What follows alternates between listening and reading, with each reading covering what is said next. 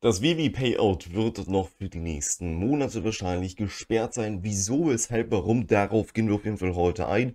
Außerdem haben wir wieder mal ein Video bekommen, was uns hier eine neue Lizenz bzw. einen neuen Film ankündigt, wovon wir NFTs sehen werden. Wenn du auf jeden Fall wissen möchtest, was wir hier sehen werden, dann bleib jetzt auf jeden Fall am Start. und jetzt würde ich aber sagen, let's go ab ins Video.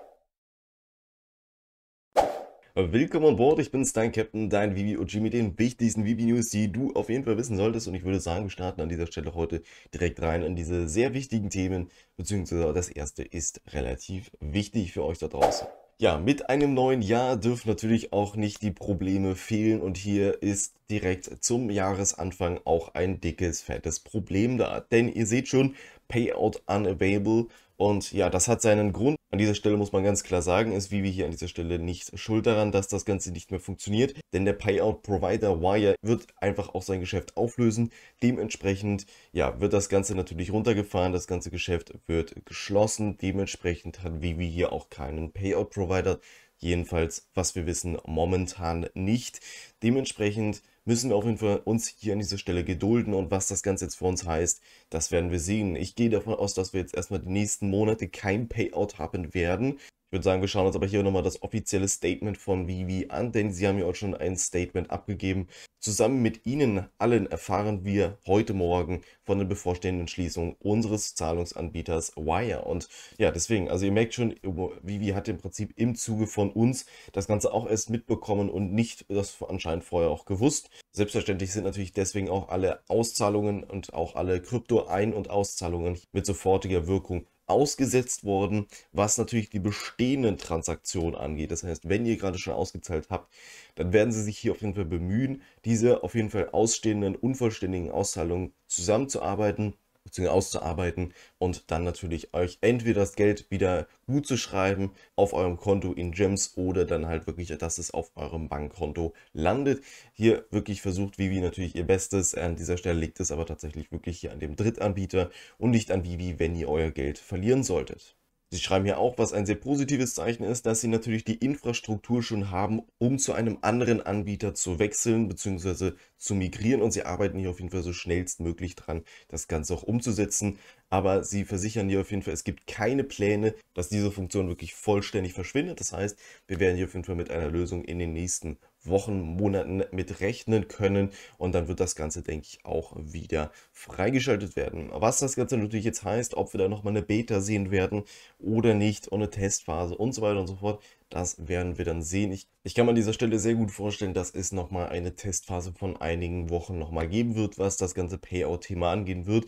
Ich werde dich aber natürlich selbstverständlich hier auf dem Kanal auf dem Laufenden halten, wenn es irgendwelche Updates zum Thema Payout gibt, wenn das Ganze wieder funktioniert oder wir einen anderen Provider haben, aber das ist auf jeden Fall ganz wichtig für dich da draußen, dass du weißt, warum momentan kein Payout verfügbar ist. Und ansonsten schauen wir uns doch aber mal was Positives an. Und zwar nämlich hier ein Video von Vivi. Und ja, ihr seht jetzt schon hier, das läuft da hinten. Ja, mir persönlich ist dazu nichts eingefallen. Als ich dann aber einen anderen Clip gesehen habe, der mir zugeschickt wurde, ja, war das eigentlich mehr als offensichtlich, wenn man sich das ganze Video wirklich anschaut, worauf das hinauslaufen wird. Und ich würde sagen, wir schauen uns das auf jeden Fall mal an. Und zwar dieses Video hier. Und zwar ist es nämlich von Robocop. Und ja, wie ihr seht, ähm, das sieht eigentlich fast eins zu eins genau so aus, wie das hier im Prinzip auch Vivi gemacht hat. Dementsprechend, ja, kann man hier eigentlich schon fast mit hundertprozentiger Genauigkeit sagen, dass wir Robocop hier an dieser Stelle confirmed haben. Das heißt, wir sehen hier im Prinzip dann diese Lizenz. Wer sich jetzt fragt, hey, haben wir jetzt hier eine mega krasse neue Lizenz mit an Bord? Nein, das Ganze gehört zu MGM und dementsprechend, ja, ist das nur im Prinzip ein weiteres Teil aus dem MGM-Kasten, der hier im Prinzip gedroppt wird. Und ja, insgesamt gibt es drei Filme. Es gibt aber auch noch eine Neuverfilmung aus dem Jahre 2014.